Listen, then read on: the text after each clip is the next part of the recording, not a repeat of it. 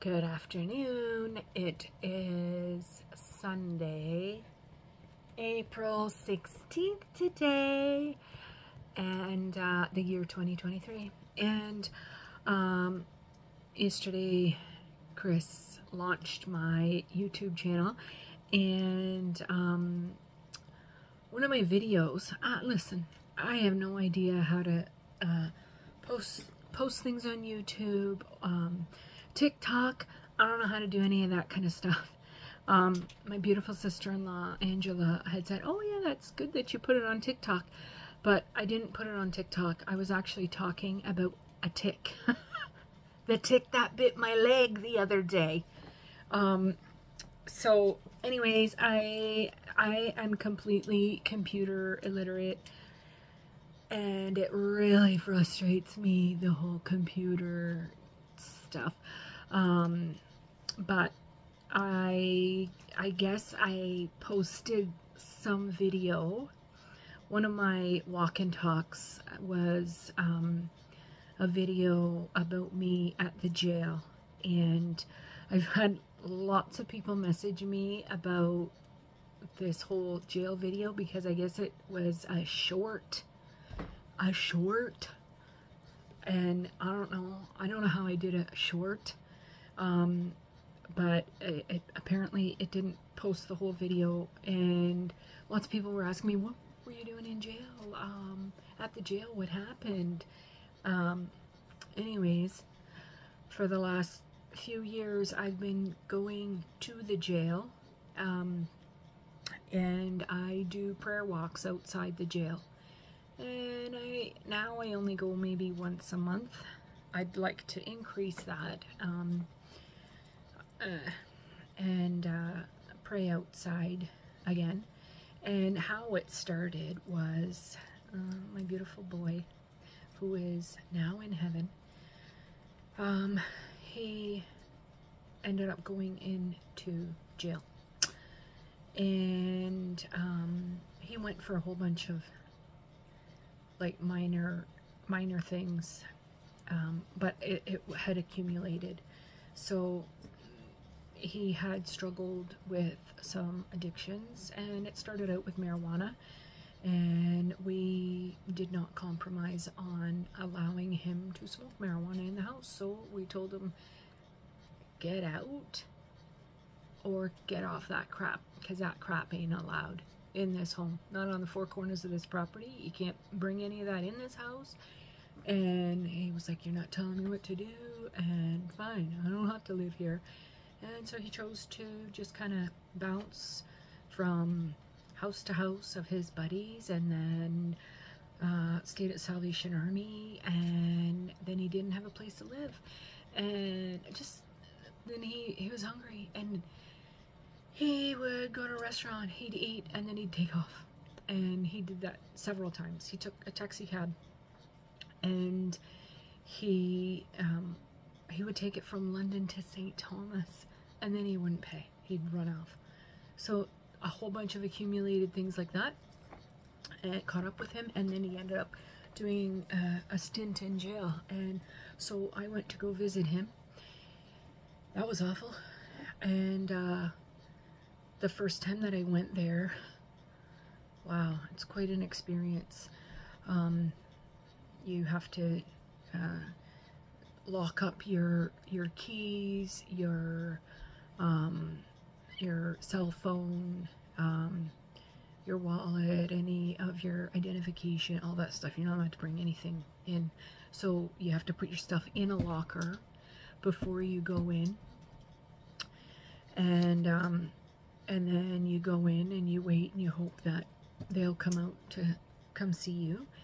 And so you sit outside of this um, enclosed glass area and you sit there and you wait. And so um, I'd sit on these stools and I'm waiting for him to come. Then he'd come through the glass. He saw it was me. And I pick up a phone. He picks up a phone and we're divided by glass. And he put his hand on the glass and, you know, we're holding hands and I'm praying and, and stuff over him. And then I scheduled two visits a week and he only came out to see me maybe three times. And that's okay because I was able to pray with him each time. And um, then I would schedule two visits a week. And um, he was in there for a few months. And when he chose not to come out to see me mm-hmm. so the guard the jail guard would come out and say oh he doesn't want to see any visitors and I was like okay so the very first time that he decided not to see me, I was like, well, that's okay. I'm going to pray for you outside here. You can't get away from your mama's prayers.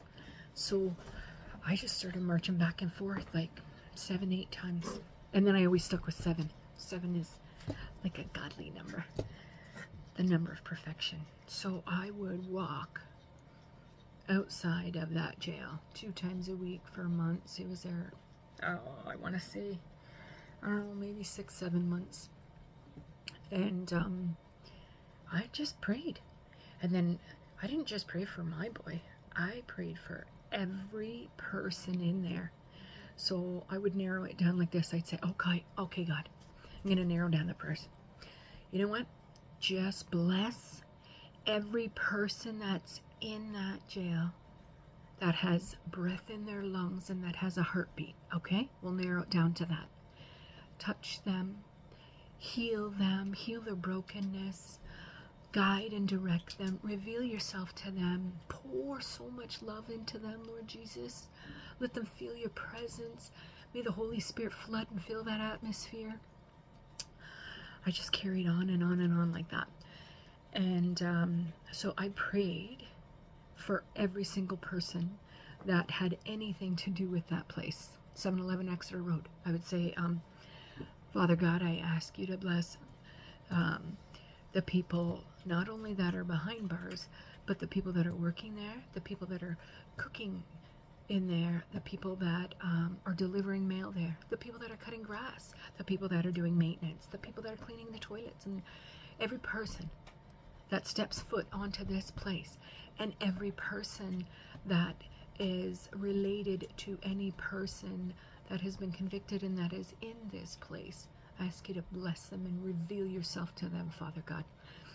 So I did that twice a week for almost, mm, like say seven months.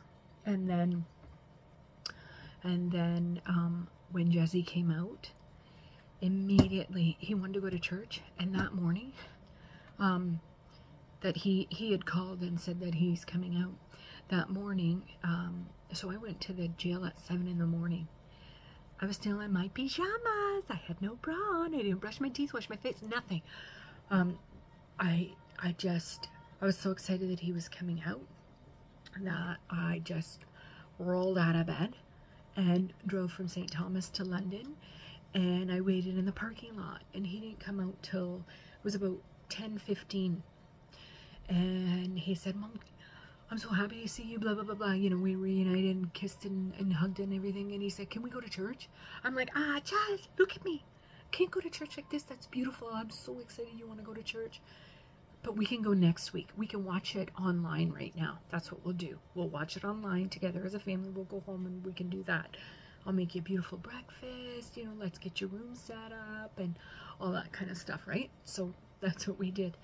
And instantly right away he wanted to get baptized i i never ever fed that to them i did like this i prayed about it i prayed that god stirred up a hunger and a thirst to chase after the things of god and to chase after an intimate personal relationship with jesus christ and to receive jesus as their lord and savior on their own and God did it.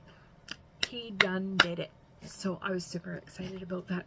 So yeah, he um, instantly he wanted to go get baptized. So um, I had him organize that with our pastor Al. I had him call and and talk to him, and he met with him, and I was just the driver. Um, so he did that all on his own. And you know, I have to tell you, although my boy is in heaven and he left this earth early, I cannot tell you the peace that I have in here and in here and in my soul. Knowing that my boy is with Jesus Christ. Bible says to be absent from the body is to be present with the Lord. He's with the Lord. There's just no greater place. I could not be more proud of my boy if he was the most brilliant scientific astronaut.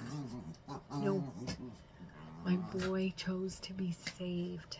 And that's what is the utmost important thing to me. And I'm so grateful.